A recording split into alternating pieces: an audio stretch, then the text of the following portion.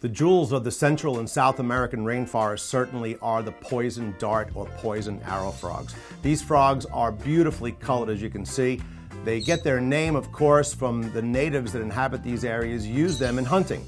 What they do is catch an adult frog, they would rub the tip of the arrow or the tip of the poison dart they're using on the frog's back. They have to agitate the frog a little bit in order to get the frog to secrete the toxic poisons that naturally come out of their skin. That poison would then be dried onto the arrow or the dart, and they use that to catch things way high in the canopy, where without these frogs assisting them, they'd never be able to get their food. It's very difficult for anybody that lives in the rainforest to catch something. The trees are 80 to 100 feet high. So the poison dart frogs are animals that mankind uses almost as a tool to live in a very inhospitable area. They get the poison, however, uh, it's not a natural thing that comes out of their back. We've learned over the years that the frogs acquire this poison through a series of events.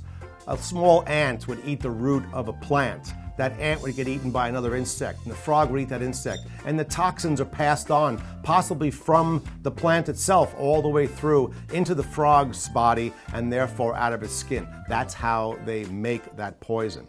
There's probably a hundred different poison dart, poison arrow frogs out there, but only very few of them are that toxic to humans. One in particular comes from Colombia. It's called the terribilis frog. Its, its poison is so potent that just touching it, it could permeate your skin and cause death.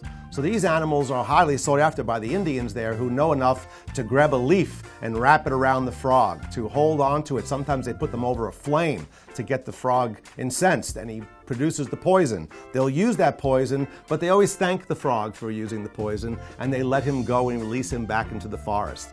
No frogs are hurt in the making of that film. It's very, very important. People of the forest have a way of understanding that rather than destroying the animal, they use them to their advantage. So poison dart frogs have a great relationship with the people of the forest in Central and South America.